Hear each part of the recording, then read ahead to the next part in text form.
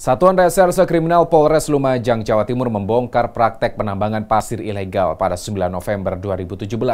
Seorang sopir dan penadahnya ditangkap dan langsung dibawa ke Polres setempat guna pemeriksaan lebih lanjut. Tim penyidik dari unit tindak pidana tertentu Satreskrim Polres Lumajang, Jawa Timur memasang garis polisi di aliran lahar Semeru Desa Pasru Jambe, Kecamatan Pasru Jambe, yang dijadikan praktek penambangan pasir ilegal.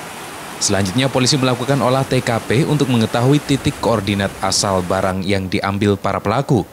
Dari hasil pemeriksaan, polisi menetapkan dua orang tersangka atas kasus tambang pasir ilegal, yakni sopir truk dan penadahnya, seorang pengusaha Batako.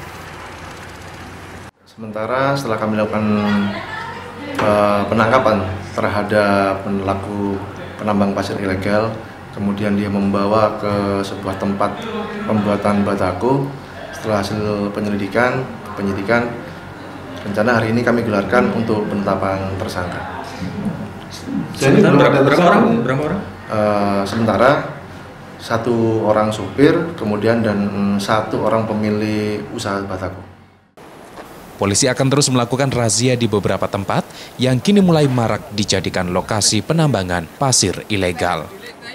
Abdul Rahman, Kompas TV, Lumajang, Jawa Timur.